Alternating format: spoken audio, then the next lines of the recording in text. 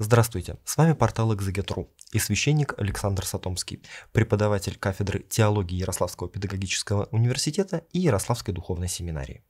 Мы продолжаем наш с вами курс, посвященный божественной литургии. И сегодня мы поговорим с вами о том, как это таинство продолжила свое развитие в эпоху после Миланского эдикта, то есть в период правления, собственно, императора Константина, ну или можно даже шире сказать, в период классических отцов, да, то есть э, порядка 4-6-8 веков, где-то в этот промежуток времени. Конечно, это очень широкие временные границы, и в этот период времени происходит огромное количество э, тех или иных видоизменений, э, во-первых, и главных в целом в жизни христианской церкви, ну и в том числе и в ее богослужебной логике, потому что закон молитвы – это закон веры. В этот период времени у нас очень активны догматические споры, и их следы, конечно же, будут проявлены и в литургических э, и текстах, и в целых в последованиях. И в целом мы можем заметить, что для этого периода времени характерна своеобразная тенденция по нарастанию единообразия. Мы можем совершенно четко на основании достаточно большого количества э, тех или иных источников, тех или иных памятников говорить о том, что древняя церковь была церковью исключительного разнообразия. То есть э, полнота церковной жизни была представлена в рамках каждой крупной общины, возглавляемой епископом. Да, э, какие-то чрезвычайно крупные общины были представлены определенного объема клиром, то есть епископу помогали не только диакона, но и пресвитеры, которые на местах совершали практически все богослужения, да, при этом, однако же, например, не рукополагая иных а, представителей клира, в этом, собственно, состояло их главное от епископа отличие. И таким образом внутри а, достаточно крупных, устойчивых общин начали формироваться совершенно свои, достаточно своеобразные, в том числе и литургические традиции. Да, то есть мы можем говорить о том, что для а, вот, рассматриваемого нами периода времени характерно существование целого ряда, да, то есть большого объема такого рода литургических традиций. Мы можем вспомнить здесь такие литургические семьи, как антиохийскую, александрийскую, иерусалимскую, восточно- и западно-сирийскую, каппадокийскую, римскую, э, и это далеко не полный их список. Но при всем при том, в рамках этого же периода времени у нас начнется процесс, а, ну скажем так, э, сведения всего этого к большему и большему единообразию. Связано это будет в том числе и с процессом выделение э, наиболее значимых кафедр э, из общего числа э, епископий и э, их, э, скажем так, все более и более возрастающий объем административных функций, да, то есть объединение вокруг себя других епархий, ну и по факту формирование того, что мы в современной практике называем поместными церквями. Конечно, как правило, э, ситуация выглядела таким образом, что те практики, которые были приняты в центре данной э, поместной церкви, в метрополии, да, то есть в городе матери, э, с течением времени так или иначе становились нормативными и для всех тех э, епархий или диацезов, да, которые внутрь вот этой э, метрополии так или иначе входили. Далее да, этот процесс укрупнения мог продолжаться еще и еще. Ну и в конечном итоге мы приходим к тому, что, в общем-то, Восток у нас остался представлен, ортодоксальный Восток, да, в очень небольшом числе практикуемых чинов литургических. Это литургии полные да, а, Василия Великого и Иоанна Златоуста. Ну и в рамках такого достаточно маргинального явления можно вспомнить а, греческий текст литургии апостола Иакова и литургию апостола Марка. Но, а, в отличие от литургий Василия и Иоанна, данные тексты практиковались крайне ограничена в рамках церковного года и только в совершенно конкретных э, православных общинах. Да, то есть э, литургия Марка в день его памяти в Александрии, литургия Иакова, соответственно, в день его памяти в Иерусалиме. Запад же, представленный также да, некоторым количеством обрядов, да, таких как, например, римский, галиканский, э, мазарабский, э, амвросианский, в конечном итоге э, при, э, при, приходит к э, доминированию римского обряда, которое в конечном итоге закончится формированием того чинопоследования мессы, которое будет иметь название по собору, однозначно его утвердившему Триденская месса. При всем при этом понятно, что как бы в рамки нашего курса детально эта история не входит, просто отметим это как тенденцию. Вы можете, например, а, полюбопытствовать, как выглядели иного вида, иного типа литургии а, в книге а, «Древние анафоры». Как бы она достаточно давно уже издана на русском языке, и там мы увидим вот это как раз огромное количество соответствующего рода евхаристических чинов и традиций. В целом, данный период, конечно, можно характеризовать как э, время, когда церковь, выйдя из подполья и катакомб, обретя, э, кроме всего прочего, э, социальный и политический э, вес да, и значимость, конечно, э, очень сильно переосмыслила свои внешние формы. Нужно заметить, что к 313 э, году с точки зрения ряда исследователей уже практически каждый десятый житель империи был христианином. То есть уже на этом этапе христианство представляло собой достаточно серьезную силу. С момента же, когда император заявил о своей приверженности новой вере, а потом э, в рамках буквально пары поколений э, христианство стало непосредственно государственной религией империи, всем и каждому стало понятно, что э, если ты друг Цезарю, да, то ты, конечно же, должен стать и другом Христу. Это своеобразно повлияло на э, климат, э, скажем так, да, внутрицерковный. Именно ведь в этот период времени у нас возникает монашество как попытка сохранения той самой живости и цельности, собранности веры, которые, как стало казаться, а, ряду христиан начали растворяться в обычных приходских общинах. На этом периоде, а, конечно же, огромное количество людей в церковь приходит, и а, ее внешние формы приобретают тот блеск и великолепие, к которым мы привыкли в рамках вот уже форм, скажем так, да, нам актуальных и современных. Во-первых, здесь нельзя не сказать о храмовом здании. Важная деталь, что христиане очень э, внимательно э, относились к тому, чтобы, э, ну, как скажем, не заимствовать ничего напрямую из языческой религиозности, и при э, огромном э, объеме э, самых разных форм э, реализации храмового пространства в греко-римском мире – они дистанцировались от них всех и в качестве своего э, храмового здания избрали совершенно светский архитектурный тип, избрали здание базилики.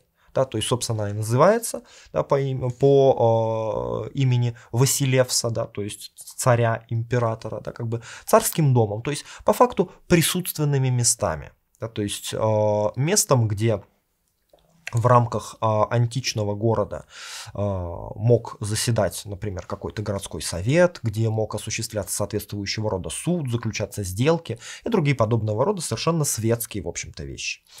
А, здание этого типа и становится основным для первого периода вот этой, а, скажем, уже такой открытой, а, негонимой а, истории христианской церкви. А, в этом здании мы наблюдаем э, деление э, храмового пространства на нефы, да, то есть внутри базилики э, свод поддерживают обычно два ряда колонн, соответственно, э, таким образом да, они делят пространство на три объема, которые и получают название нефы. Отдельным образом выделяется алтарная апсида. Она существует и в обычной базилике. И вот там как раз находятся, например, места для э, того, чтобы там могли например, сесть те же самые участники суда, да, или же, например, э, какие-то городские управляющие органы. Все это остается и в базилике христианской, да, то есть, э, к примеру, центральное место которое в обычной базилике как бы отделено для императора. На, ней, конечно, на, на, на нем, конечно, он практически никогда не присутствует, ввиду того, что не во всех городах империи он э, просто бывал за период своего правления, да, но тем не менее оно символически отделено для него. Э, все же остальные рассаживаются по правую и левую стороны внутри этой апсиды, да, внутри этого полукружия. Таким же образом и в христианской базилике центральное место отводится для Христа и занимает его, например, в рамках богослужения только епископ, который является да, абсолютным в этом э, смысле главою э, данного евхаристического собрания.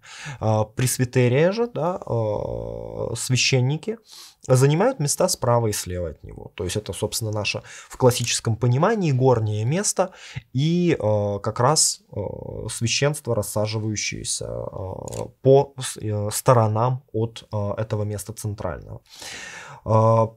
Алтарь выделяется, во-первых, и главных э, подъемом уровня, да, то есть он выше, чем основной э, базиликальный объем.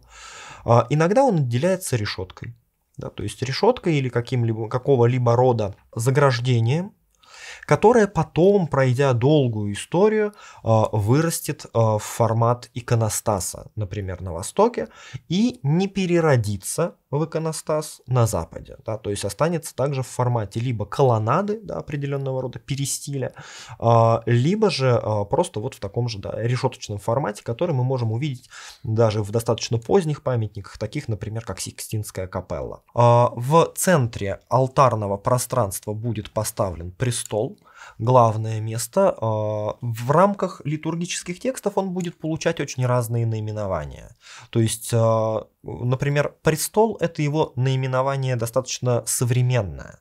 Да, как правило, а, называется он святою трапезую или получает название, также он может именоваться и алтарем, и жертвенником. То есть, хотя, например, в нашем современном обиходе термин «жертвенник» используется достаточно узко и имеет в виду э, тот стол, на котором дары предуготовляются перед началом литургии. Одним из ранних для этого периода памятников, который описывает в том числе как раз да, и литургическую традицию, являются так называемые апостольские постановления. Возникают они э, не ранее второй половины IV века относятся, по всей видимости, к сирийской э, традиции, да, отражают реалии э, церковной жизни данного региона. Безусловно, наименование их апостольскими постановлениями – это достаточно широкая фигура речи, э, и попытка через э, такую как бы э, псевдоэпиграфичность, э, приписать им соответствующего рода авторитет, но нас они интересуют как памятник, отражающий свою да, современную церковную практику. Здесь мы можем, обращаясь э, как раз к описанию литургии, прочесть следующее. «Все вместе, встав и обратившись к востоку, по выходе оглашенных и кающихся, пусть молятся Богу, вошедшему на небо небес на востоке, Воспоминания также о древнем жительстве в раю, находящемся на востоке, откуда первый человек был изгнан за нарушение заповеди по наветам змея. То есть, собственно, мы видим, что уже совершенно четко литургия делится на литургию оглашенных и литургию верных.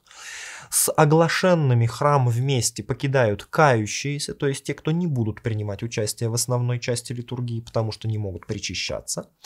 Все же остальные верные приглашаются к молитве и э, указывается на нормативную христианскую практику молиться на восток.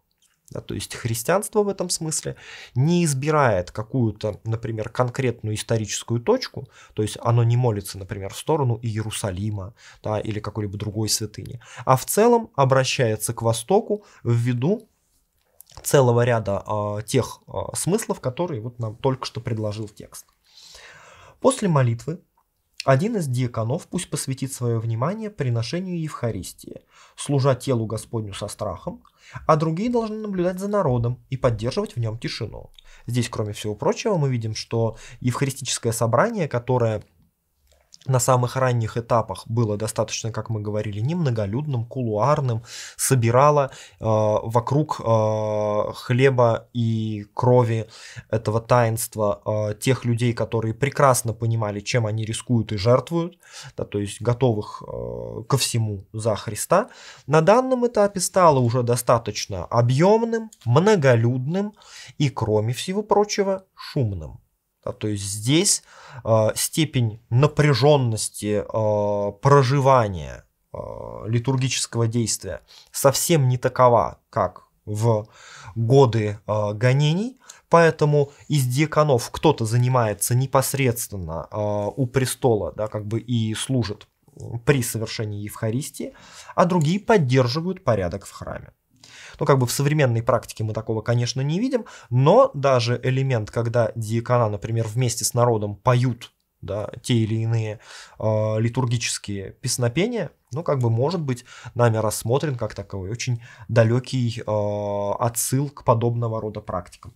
Диакон же, стоящий рядом с архиереем, пусть скажет народу, да никто против кого-либо, да никто в лицемерии. Да, это вот указание на ту самую тайну церкви, как тайну любви. То есть в конфликтах и неприятии друг друга члены христианской общины не могут приступать к причастию, на что им напоми... о чем им напоминает э, диакон соответствующими словами. Потом пусть приветствуют друг друга мужчины мужчин, а женщины женщин целованием о Господе а не коварно, как Иуда предал Господа целованием. То есть мы видим, на то, что, мы видим то, что э, практика э, целования мира да, как бы присутствует э, до сих пор, и вот в таких уже крупных общинах.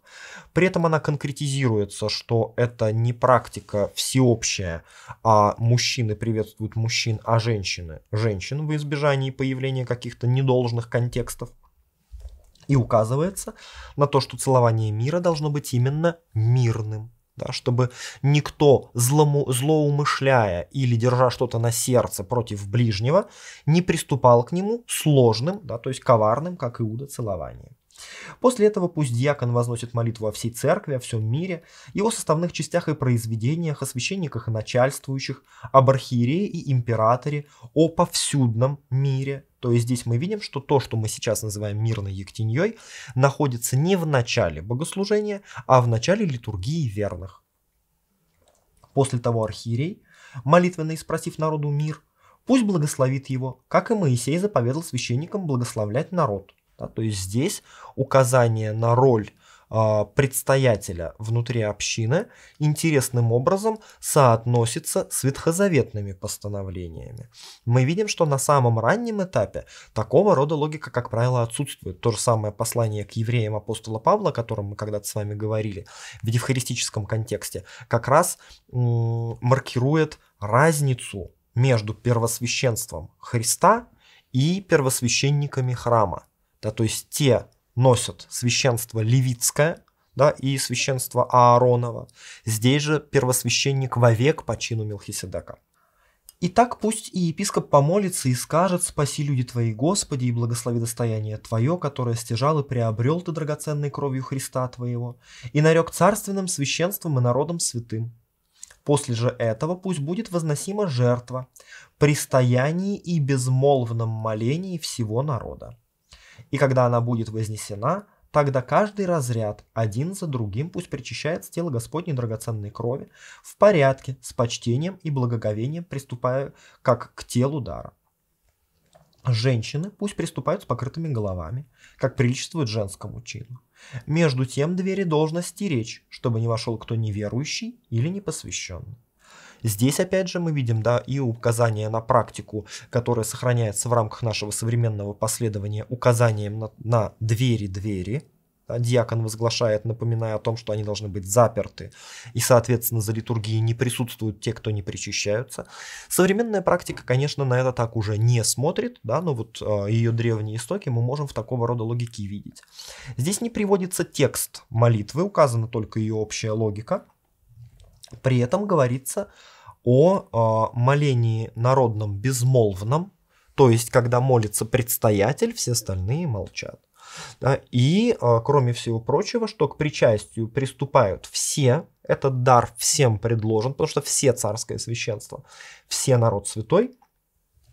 При этом, однако же, причащаются все согласно определенному чину. Да, то есть первым идет, по всей видимости, предстоятель, далее клир, далее миряне. Да, как бы здесь, по всей видимости, даже есть определенная градация между мужчинами и женщинами, э, так как о женщинах есть отдельная ремарка о покрытии ими головы.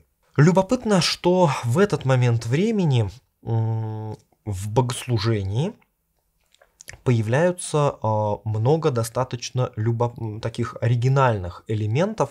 Ну, например, мы уже сказали о том, что оно сопровождается пением, хотя христиане пели и в рамках своих тайных собраний. Э, более того, есть даже, например, э, такие сюжеты из житий мучеников, когда человек стал христианином благодаря тому, что шел мимо чьего-то частного дома и услышал, как там кто-то поет псалмы. Это было, собственно, христианское богослужение. Он вслушался в текст, он его заинтересовал, он вошел внутрь дома и, собственно, да, поучаясь, впоследствии стал частью христианской общины. Так вот, богослужение начинает э, сопровождаться достаточно э, разработанным э, пением. У него будет вообще своя совершенно долгая и своеобразная история. Вполне возможно, мы ее с вами коснемся в рамках нашего лекционного курса одежды священнослужителей э, начинают выглядеть не так, как обыденная одежда. Мы также поговорим с вами и об облачениях священников. А здесь просто замечу э, любопытный эпизод церковной истории. Э, еще до э, Миланского эдикта, э, в э, второй половине третьего века, у нас возникает очень интересная фигура на христианском Востоке. Это Павел Самосадский, а, глава церкви в Антиохии. Это период примерно 40-летнего мира, когда церковь достаточно долго находится а, в относительно спокойном а, существовании, не притесняемо римским государством, и Павел, благодаря э, благоволению э, царицы Зенобии, которая правит Сирией в этот момент времени, занимает одно из ведущих мест в сирийском тогдашнем обществе. Павел известен в церковной истории как еретик и осужден э, ввиду своих неправоумствований о Святой Троице и о Господе Иисусе Христе. Но любопытно, что современниками он осуждался не только за это, но и за очень своеобразный образ жизни.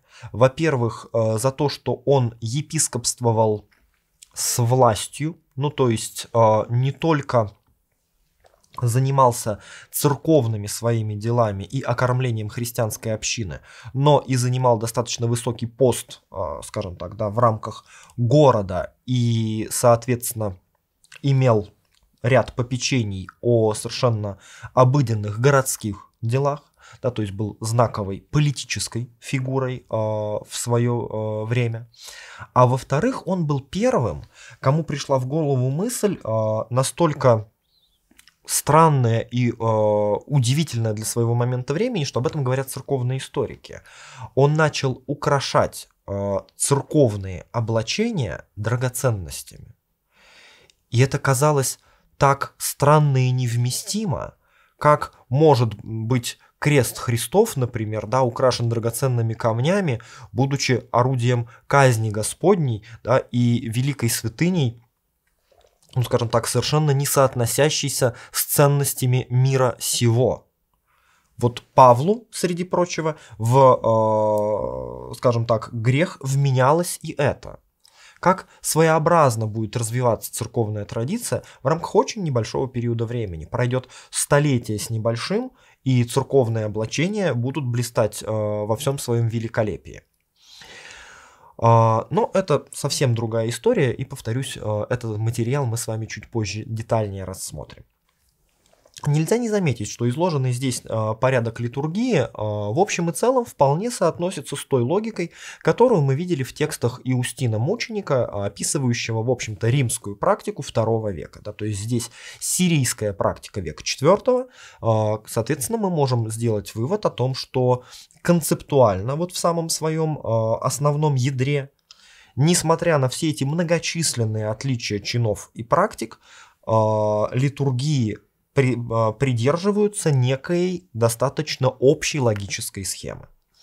Далее, а, например, а, обращаясь к поучениям тайноводственным святителя Кирилла Иерусалимского, мы можем заметить, как выглядит христианское богослужение, как выглядит литургия в Иерусалиме в его период, тоже IV век. Это пятое тайноводственное поучение. Вспоминаем небо, землю и море, солнце и луну, звезды и всю тварь, словесную и бессловесную, видимую и невидимую, ангелов, архангелов, силы, господства, начала, власти, престолы, херувимов многоочитых. Как бы говоря с Давидом, величайте Господа со мною. Поминаем же и серафимов, которых Духом Святым видел Исаия, стоящих окрест Божия престола. И для того преданное нам от серафимов богословие это, повторяем, свят, свят, свят Господь Саваоф да сделаемся причастниками песнопения вместе с примирными воинствами. Да, то есть здесь он говорит нам также не прямой текст, но общую логику э, вот этой главной литургической молитвы, анафоры. И мы видим, что в ней присутствует, например, вот элемент воспоминательный, да, то есть где мы э, говорим о всех благодеяниях и дарах Божьих, а далее он перетекает в воспоминания конкретного момента Тайной Вечери, После этого, осветив себя духовными этими песнями, молим человека любца Бога, да не спошлет Святого Духа на предлежащие дары, да сотворит хлеб уба тела Христова, а вино кровь Христову.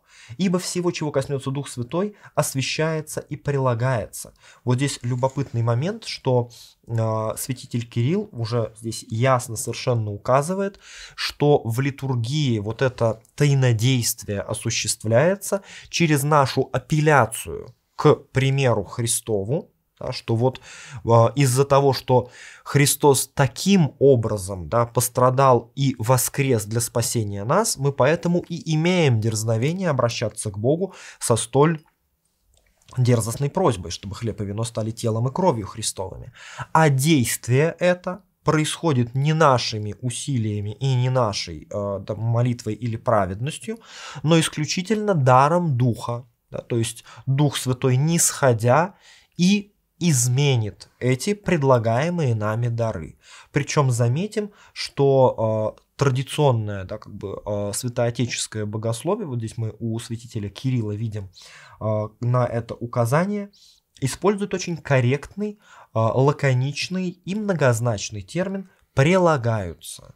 Да, то есть впоследствии, э, в том числе во многом под влиянием богословия западного, мы привыкнем говорить о присуществлении, да, то есть о э, некоторых глубинных природных изменениях внутри э, предлагаемых даров. Святоотеческое богословие, говоря о этом изменении, которое с дарами произойдет, пользуется более нейтральной терминологией, говорит о приложении. Потом, по совершении духовной жертвы, бескромной службы, при той же самой жертве умилостивительной, молим Бога о всеобщем мире церквей, о благостоянии мира, о царях, о воинах и сподвижниках, о находящихся в немощи, об утомляемых трудами и вообще обо всех, требующих помощи, молимся мы все и эту жертву приносим. Вот оно, да, идея Евхаристии как таинства не только собирающего церковь, но и содержащего мир – потому что э, в рамках вот этого уникального действия Божия, да, любовь э, Господня становится зримо и действенно, да, осязаемо в этом мире. Поэтому церковь молится, принимая столь экстраординарные невместимые дары не только о себе самой, но и обо всем мире, который жаждет, желает и ожидает Божьего присутствия. После поминаем прежде почивших, во-первых, патриархов, пророков, апостолов, мучеников, чтобы их молитвами и предстательством принял Бог моление наше.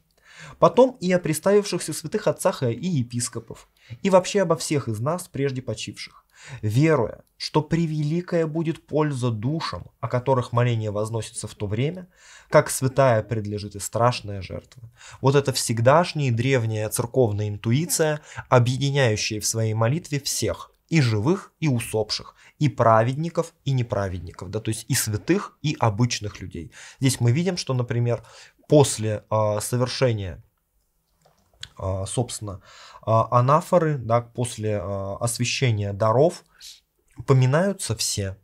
Древние праведники, современные почившие отцы, да и вообще всякий почивший, например, христианин. Да. Более того, когда мы будем говорить с вами о соответствующем фрагменте литургии, мы увидим, что в общем-то, молитва это объединяет не только усопшую часть церкви, но говорит, конечно же, и о живых. То есть в теле Христовом нет различия ни временного, ни пространственного. Все едины в Христе. Очень любопытные свидетельства о церковной жизни в этот период мы видим у святителя Иоанна Златоуста.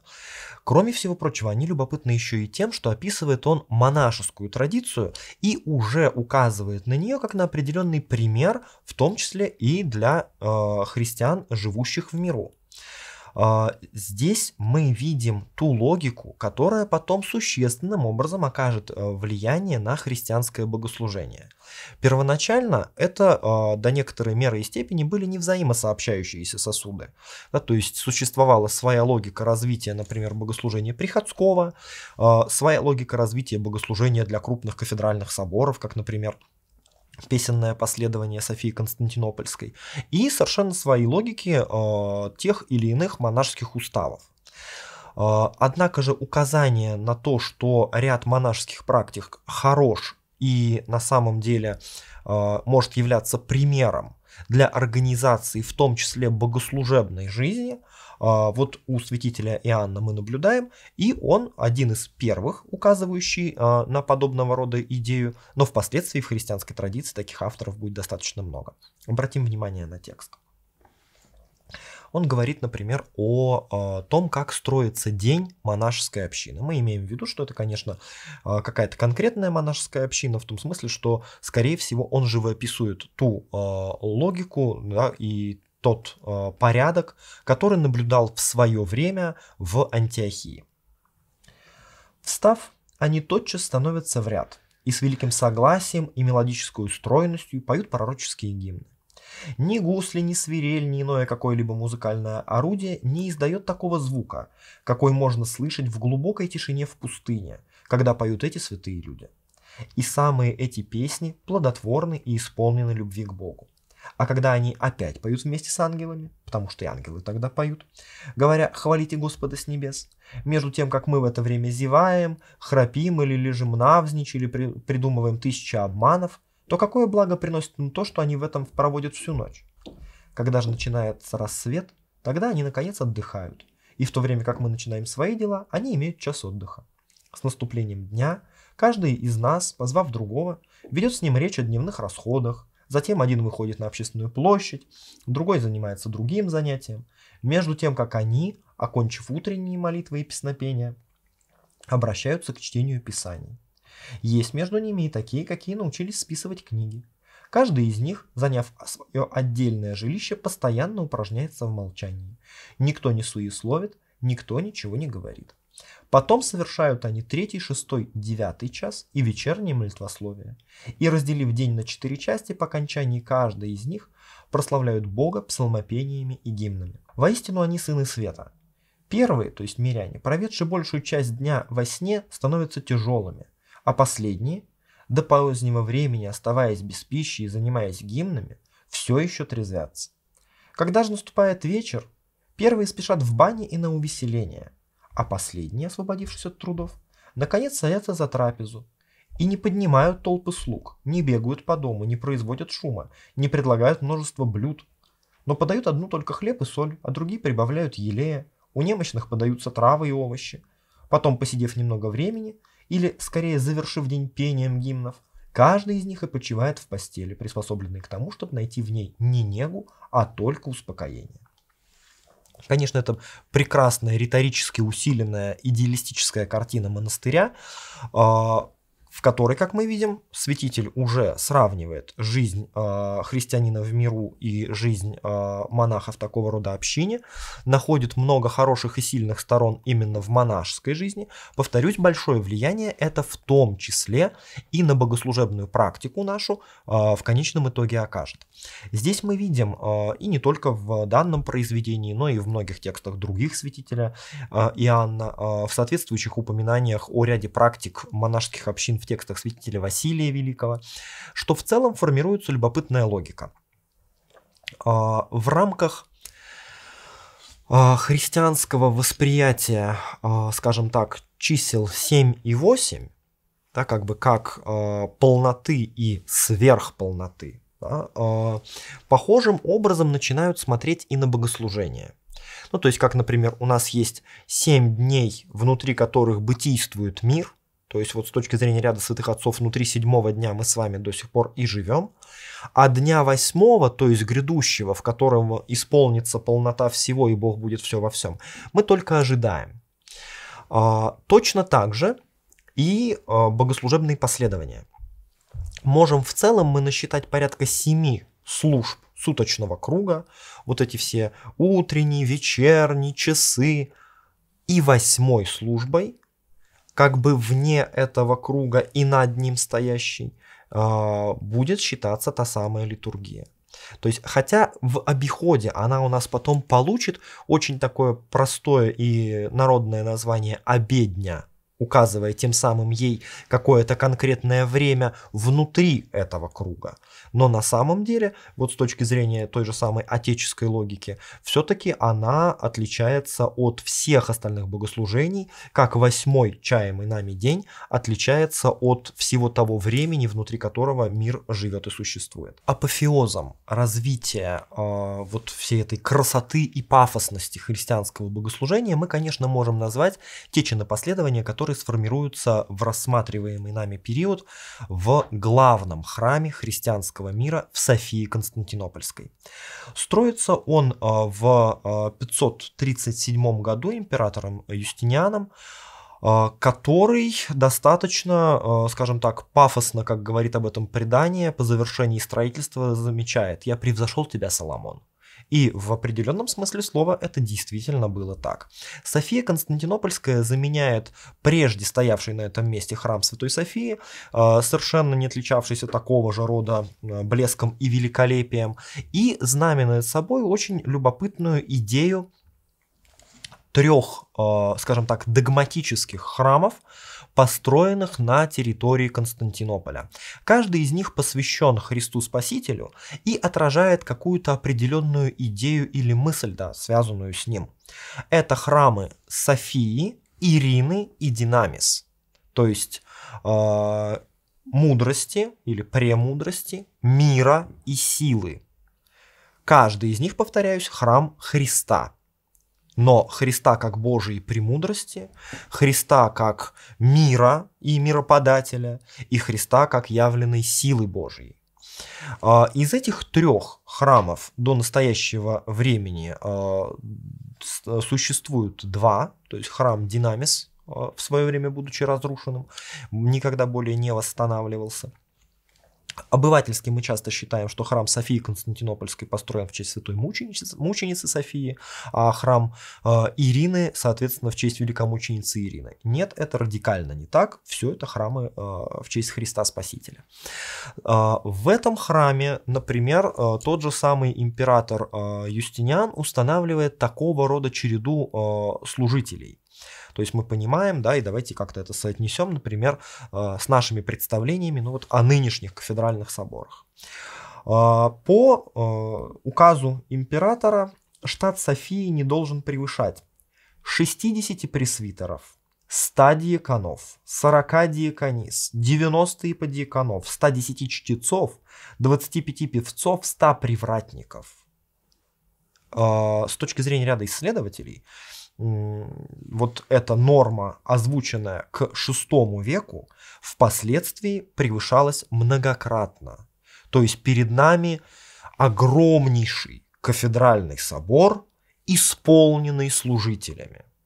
Соответственно, блеск и великолепие этого богослужения даже спустя многие столетия были столь велики, что, собственно, мы можем вспомнить послов э, князя Владимира, который из глуби значит, э, э, наших э, славянских лесов туда придя, впоследствии свидетельствовали, что мы не знали, где мы оказались, на небе или на земле.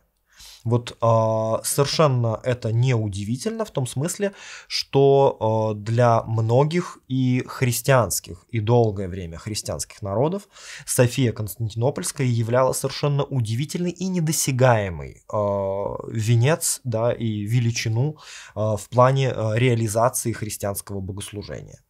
Нужно заметить, что э, в рамках этого э, храма формируется совершенно своеобразное, совершенно уникальное богослужебное последование. В массе своей э, никогда не воспроизводимое э, в каких-либо других условиях. Это так называемое песенное последование. Однако внутрь, э, в том числе литургии, и, соответственно, наших, э, ряда других наших э, современных богослужений, некоторые его элементы все-таки попали.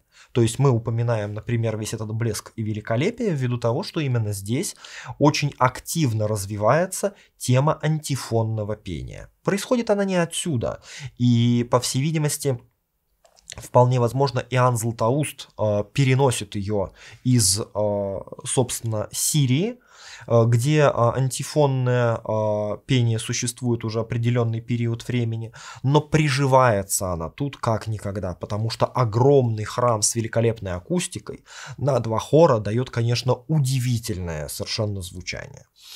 По поводу антифонов мы с вами также чуть позже поговорим. Также, по всей видимости, изнутри э, именно песенного последования в наше богослужение э, входит э, как регулярный формат э, тексты ряда тропарей, ну то есть, например, собственно, тропарь Софии, да, единородный сыне становится просто частью литургии, а в принципе и тропари как жанр вполне возможно активно популяризируются в православном богослужении через вот то самое песенное последование.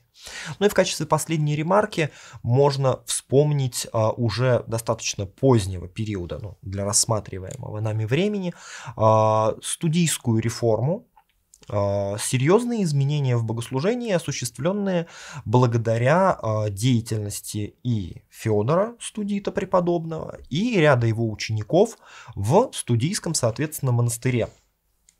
Константинополя, а, это у нас уже период 7-8 веков, именно благодаря им формируются те тексты, которые будут потом активно э, используемы в рамках в том числе наших литургических, э, да, как бы непосредственно последований. Э, это те же самые триоди, например, и актоих. Да, плюс также э, к литургии непосредственно не относящийся, но тоже интересный момент, что, например, именно э, студийские монахи популяризируют такую форму, как канон которая впоследствии станет очень серьезной частью православного богослужения. Таким образом, подводя итог, мы можем сказать, что в послеконстантиновскую эпоху церковь, выйдя из э, вот этого периода гонений и став церковью большинства, конечно, приобретает в своем богослужении те формы, которые наиболее вместимы для этого самого большинства. И желая подчеркнуть, в общем-то, величие Божие, э, тот чаемый свет э, Царства Небесного, к которому мы стремимся, делает она это в достаточно простых и понятных для э, вот этого массового христианина формах. Это благолепное богослужение, это красивейшее пение, это соответствующие храмовые здания и храмовые интерьеры, то есть приобретает, в общем-то, все те формы блеска и великолепия, в которых мы знаем православное, да и вообще шире сказать, христианское богослужение сейчас.